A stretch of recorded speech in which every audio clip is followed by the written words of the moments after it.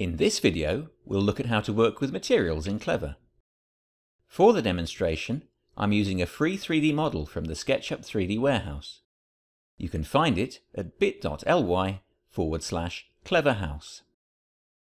I've imported the model into the Architecture Daylight 8am preset, which you can find on the Create Project screen. The simplest way to add a new material to your scene is to assign one from CL3VER's library. To do this, click on the Materials menu, then choose Standard. As you can see, CL3VER has a library of ready-made materials for you to use, organised by type. Let's try assigning one to the scene. Select the grey brick material from the library, then select the Fill tool, and click on an object in the scene.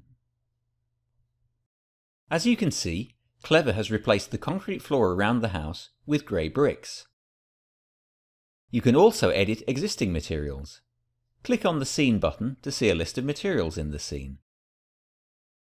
Let's try replacing the windows in the building with tinted glass. Select the Pick tool. Now click on a glass object in the scene. You can see that its properties have appeared in the panel on the right of the screen. If I click on the colour swatch, you can see that the colour picker appears. Choose a neutral aqua. When you are done, click on the cross icon to close the colour picker. Now let's try making the windows more reflective. Go to the Specular and Reflections drop-down and select Use Diffuse. A new set of properties appears. You can see that the reflections are set to use the reflection map in the scene. You can edit this by clicking on the Environment button in the Scene menu. By adjusting the Fresnel base setting, you can control the intensity of the reflections. I'm going to use a value of 20. You can also adjust the transparency of the glass. To do this, go to the opacity rollout. If I drag the slider, you can see the glass becoming more or less opaque. Again, I'm going to use a value of 20.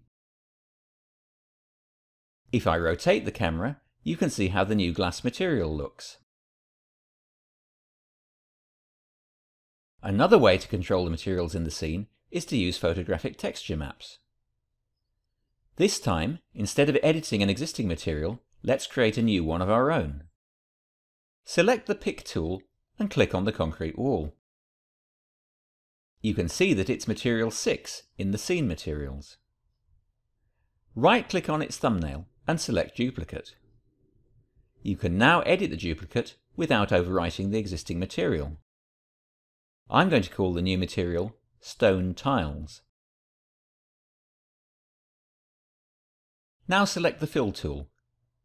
Click on the wall to assign the new material to it.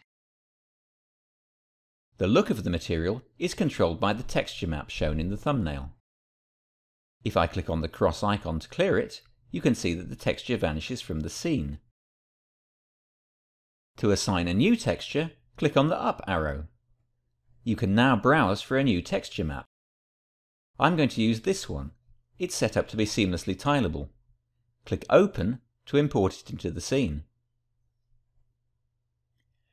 At the minute, the texture is just a flat colour. Let's fix that. Go to the normal mapping rollout and click the up arrow there.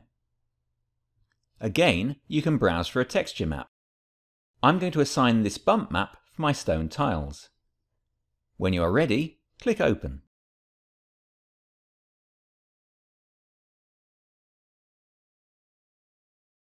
From the drop-down, choose Bump Map. CL3VER is now using the texture map to simulate the fine details in the surface of the tiles. If you compare these close-ups of the back wall, you can see the difference it makes.